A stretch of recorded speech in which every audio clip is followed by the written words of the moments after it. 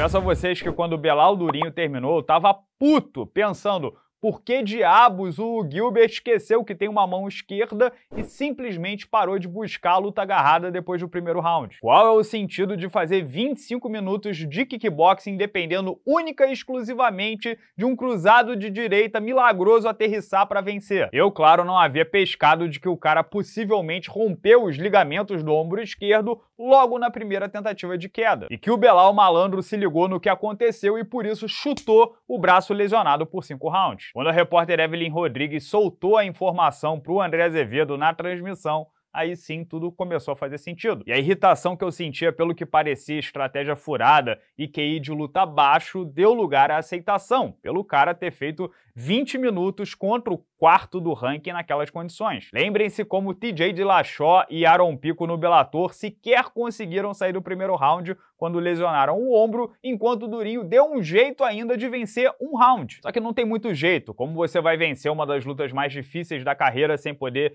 jebear, medir a distância corretamente ou usar o cruzado de canhota, que talvez seja a sua maior arma em pé. E principalmente sem poder propor as quedas, fazer mão com mão, isometria. Durinho deixou o octógono chorando muito, não pela derrota em si, talvez por algo ainda pior, que é a sensação de não poder ter lutado como gostaria e ainda por cima saber que aos 37 anos essa pode ter sido a sua última chance. Digo isso porque além de descer alguns degraus na disputa pelo cinturão, se precisar de cirurgia para corrigir o problema, é papo de voltar só daqui a um ano. O TJ Dillashaw, inclusive, se aposentou, né? Acabou a carreira. Aliás, a grande diferença pro Dillashaw é que ele já chegou na luta lesionado. O ombro saiu do lugar durante o camp. O Durinho não. Foi durante a luta. Não teve qualquer aviso prévio. Pensem o seguinte, essa nem era a luta dele. O cara levantou o braço e pediu a bola. Por que faria isso se tivesse lesionado? Aí a gente entra naquela. Na resenha de sexta, elogiei a frequência do cara, que queria fazer o máximo enquanto ainda estivesse no auge físico e técnico. Hoje, certamente, serei criticado com aquele, tá vendo? Olha aí,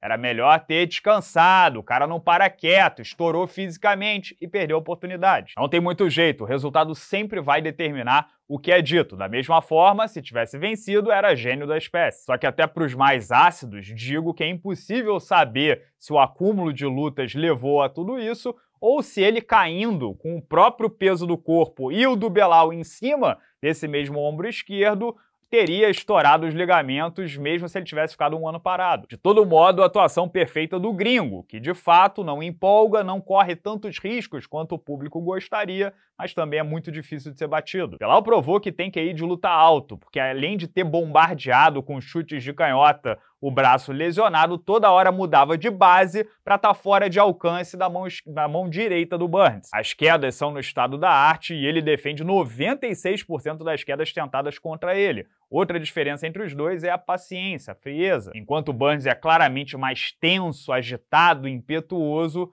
Belal controla melhor as emoções e se mantém por mais tempo mestre do seu próprio domínio. Com o resultado, o descendente de palestinos garante duas coisas: o title shot contra o vencedor de Leon Edwards versus Kobe Covington e o posto de reserva oficial dessa mesma luta. Agora, como também não passou por cima, não tirou onda sobre um adversário lesionado, também não haverá comoção para tirarem o title shot do Kobe Covington e passarem o Belal à frente. Contra qualquer um dos dois, de fato, ele vai ter uma chance relevante, mas ainda acho que tanto Edwards quanto Covington seriam favoritos contra o Mohamed. Quanto a Durinho, o mais importante no momento é saber a gravidade da lesão. Pós-luta, ele foi direto para o tratamento médico, tanto que não participou da coletiva de imprensa. Se o problema for leve, né, resolver com fisioterapia, ele não vai querer ficar no sofá ali parado esperando para digerir a derrota. Vai querer voltar o mais rápido possível para tirar o gosto ruim da boca. Nesse caso, Geoff Neal, Shavkat Rakhmonov e Kamaru Usman surgem como potenciais adversários. Agora, se o problema for grave, aí só Deus sabe quando ele volta e se o cara, a essa altura do campeonato, estará motivado